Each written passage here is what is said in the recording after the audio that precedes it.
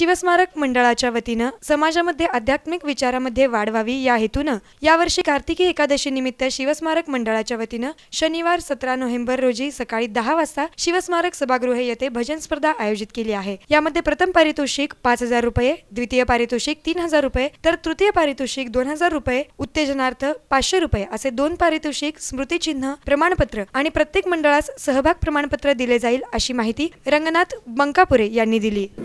त्यापैकी खास उल्लेखनीय म्हणजे अ, शिवराज्याभिषेक दिनाचा मोठा कार्यक्रम.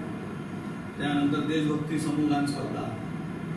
त्याचबरोबर व्यायामशाळा त्याचं पॉवर लिफ्टिंगचे कार्यक्रम. त्याच्या स्पर्धा.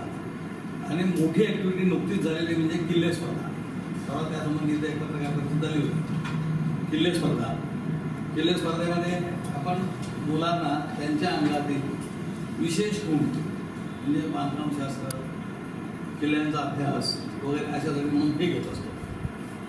तसं त्याचबरोबर आपलं शिवशिल्प प्रदर्शन पण तिथं आहे. महाराजांच्या जीवनावरील जे काय धावतं जे काय माहिती आपण तयार केलेली आहे तिथं शिवसृष्टी म्हणून आपण निर्माण केलेली आहे. त्याचबरोबर अभ्यासिका आहे आणि जे काही कार्यक्रम आपण घेतो सूर्यनमस्कार हे एक आमचं खास असं अं, वर्षभराचा एक उपक्रम असतो.